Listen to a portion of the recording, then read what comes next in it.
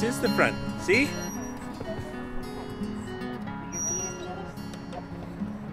Oop, feet are stuck. Want some help? This Christmas and New Year's, Malaya, my niece, came with her mom and dad to visit, and she's only two years and three months old, but she just realized on this visit that I didn't have arms and hands. She said something to her parents like, Oh, Auntie has her arms in her shirt covered and so she didn't re- recognize that I didn't have arms and hands. It was her first uh, moment of discovery. And I started to explain to her while we were playing that I was born without arms and hands and that everyone's different.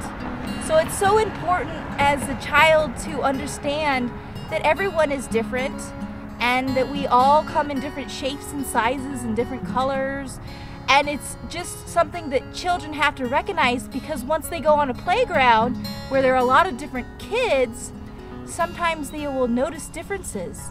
And it's important to be inclusive. So it was very important for Malaya to understand that. And she and I had some special time on her trip over here to Arizona. I'm so worried about getting hit. Okay. Ready?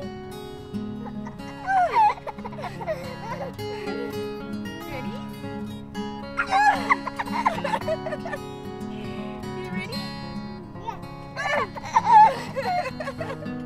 okay, ready?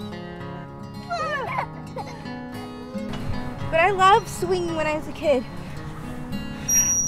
Okay. Woo. Yeah, you're swinging by yourself. I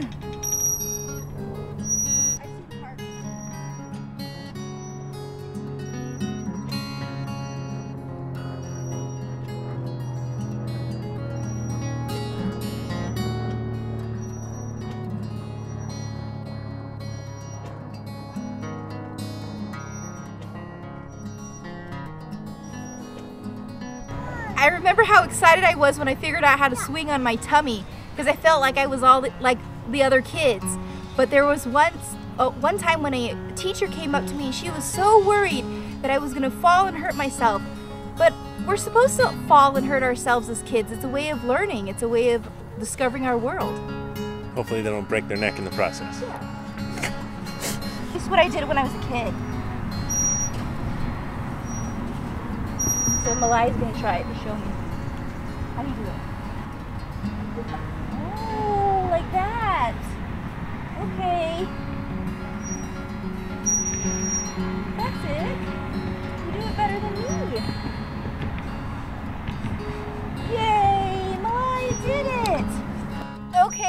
Are too long now.